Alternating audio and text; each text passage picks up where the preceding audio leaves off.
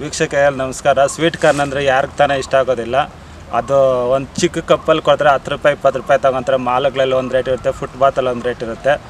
ಆದರೆ ತಿನ್ನೋರಿಗೆ ಚೆನ್ನಾಗಿರುತ್ತೆ, ಆದರೆ ಬೆಳೆದಿರೋರ್ಗು ಅದೇ ಥರ ಚೆನ್ನಾಗಿರುತ್ತೆ. ಅದ್ರ ವ್ಯವಸಾಯ ಹೇಗೆ ಮತ್ತು ಅದ್ರ ಕೃಷಿಗೆ ಸಂಬಂಧಪಟ್ಟಂಗೆ ಅವ್ರು ಯಾವ ಅನುಭವಗಳು ಮತ್ತು ಅದರಿಂದ ಇನ್ಕಮ್ ಹೇಗೆ ಅಂತ ಅವ್ರ ರೈತನ ತಿಳ್ಕೊಳ್ಳೋಣ ಮತ್ತು ಹಿರಿಯ ರೈತರು ಅವರು ಇದ್ದಾರೆ ಮತ್ತು ಅವರು ಮಗ ಅಂತ ಅಂಬರೀಶ್ ಅವರು.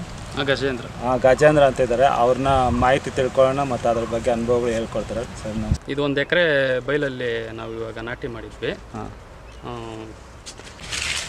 ಈ ಉತ್ತಮ ಬೆಳೆ ರೈತರಿಗೆ ಅಗ್ರಿಮೆಂಟ್ ಬೇರೆ ಇರುತ್ತೆ. ಲಾಸ್ ಏನು ಆಗಲ್ಲ ಇದರಲ್ಲಿ. ಎಕರೆಗೆ ಒಂದು ಹತ್ತರಿಂದ ಹದಿನೈದು ಸಾವಿರ ಖರ್ಚು ಬರುತ್ತೆ. ನಾವು ಬೆಳೆ ನಾಟಿ ಮಾಡ್ದಾಗಿಂದ ಎರಡೂವರೆ ತಿಂಗಳಿಗೆ ಫಸಲು ಸಿಗುತ್ತೆ.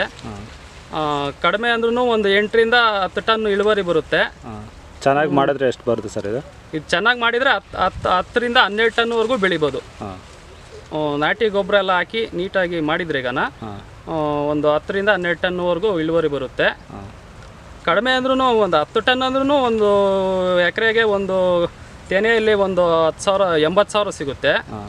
ಮತ್ತು ಕಡ್ಡಿ ಕಡ್ಡಿ ಚಪ್ಪೆ ಅಂತಾರಲ್ಲ ಕಡ್ಡಿ ಮಾರ್ಕೊಂಡ್ರೆ ಇದರಲ್ಲಿ ಒಂದು ಎಕರೆಗೆ ಒಂದು ಇಪ್ಪತ್ತು ಸಾವಿರ ಸಿಗುತ್ತೆ. ಎಲ್ಲ ಟೋಟಲ್ ಒಂದು ಲಕ್ಷ ಆಗುತ್ತೆ. ಒಂದು ಹದಿನೈದು ಸಾವಿರ ರೂಪಾಯಿ ಇನ್ವೆಸ್ಟ್ ಮಾಡಿದರೆ ನಾವು ಎರಡೂವರೆ ತಿಂಗಳಿಗೆ ಒಂದು ಲಕ್ಷದಲ್ಲಿ ಸರ್ ಇವಾಗ ನೀವು ಇನ್ವೆಸ್ಟ್ ಮಾಡಿರೋದೆಲ್ಲ ಈ ಕಡ್ಡಿನಲ್ಲಿ ವೇಸ್ಟೇಜ್ ಮಾಡ್ಕೊಂಡ್ರೆ ಬರುತ್ತಲ್ವ? ಅಲ್ಲ ಇದರಲ್ಲೇ ನಾವು ಇನ್ವೆಸ್ಟ್ ಮಾಡಿರೋದು ಒಂದು ಹದಿನೈದು ಸಾವಿರ ಅಂದ್ರೆ ಇಪ್ಪತ್ತು ಸಾವಿರ ಕಡ್ಡಿದೆ ತೆಗ್ದಾಕಿದ್ರು ಲಾಭ ಹೇಳೋದು ಕಡ್ಡಿ ಮಾರ್ಕೊಂಡ್ರೆ ಇಪ್ಪತ್ತು ಸಾವಿರ ಬರುತ್ತೆ.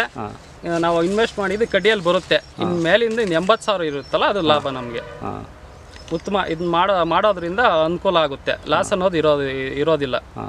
ಈಗ ಟೊಮೊಟೊಗಳೆಲ್ಲ ಬೆಳೆದ್ರೆ ಒಂದು ಲಕ್ಷದವರೆಗೂ ಬಂಡವಾಳ ಹಾಕ್ಬೇಕು. ಅಂದ್ರೆ ಅದು ಬರೋದೇ ಗ್ಯಾರಂಟಿ ಇರಲ್ಲ ಬರೋದೇ ಗ್ಯಾರಂಟಿ ಇರಲ್ಲ. ನಾನು ನಾನು ಹೋದ ವರ್ಷ ಟೊಮೆಟೊ ಬೆಳೆದೆ. ಒಂದು ಎಕರೆಗೆ ಒಂದು ಲಕ್ಷ ರೂಪಾಯಿ ಬಂಡವಾಳ ಹಾಕಿ ಅದ್ರಲ್ಲಿ ಬಂದಿದ್ದು ಮಾರಿದ್ದು ಎಪ್ಪತ್ತೆಂಬತ್ತು ರೂಪಾಯಿ ಸೀಸನಲ್ಲೇ ಎಪ್ಪತ್ತೆಂಬತ್ತು ರೂಪಾಯಿ ಮಾರ್ತು. ನಮ್ ನಮ್ಗೆ ಸಿಗ್ ಸಿಕ್ಕಿದ್ದೆ ಅದ್ರಲ್ಲಿ ಅರವತ್ತು ಸಾವಿರ ಆಯಿತು. ಇನ್ನು ನಲ್ವತ್ತು ಸಾವಿರ ರೂಪಾಯಿ ಕೈನಿಂದ ಲಾಸು ಅದರಲ್ಲಿ. ಇದ್ರಲ್ಲೇ ಆತರ ಆ ಥರ ಏನು ಆಗಕ್ಕೆ ಚಾನ್ಸೇ ಇಲ್ಲ.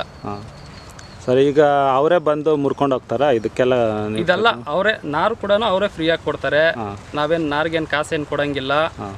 ಮತ್ತೆ ಅವರೇ ಬಂದು ಮುರ್ಕೊಂಡು ಹೋಗ್ತಾರೆ. ಖರ್ಚು ಕಡಿಮೆ ಇದರಲ್ಲಿ. ರೈತರು ಬೆಳಿಬೋದು ಸ್ವೀಟ್ ಕಾರ್ನ್ ಬೆಳಿಬೋದು ಲಾಭ ಐತೆ. ಹಾಂ.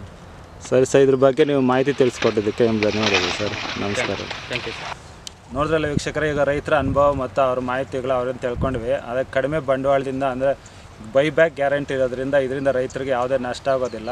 ಇದನ್ನು ರೈತರು ನೋಡಿ ಸಮರ್ಪಕವಾಗಿ ಬೆಳೆದು ಅದರಲ್ಲಿ ಆದಾಯ ಗಳಿಸ್ಬೋದು ಅಂತ